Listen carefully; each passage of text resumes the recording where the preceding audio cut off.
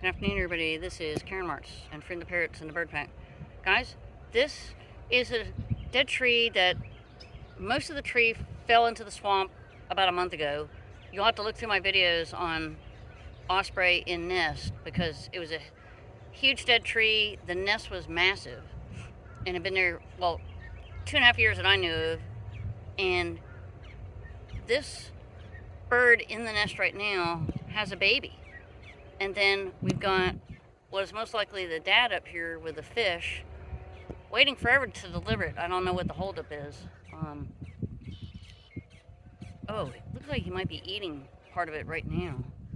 Oh no, that's just his head moving. I can't tell if he's eating. It's so bright out. It's 91 degrees, but this bird in the nest definitely has to be the mom. Is shading the baby. Isn't that interesting? All right, well, Freedom's putting in his two cents. All right, have a great day.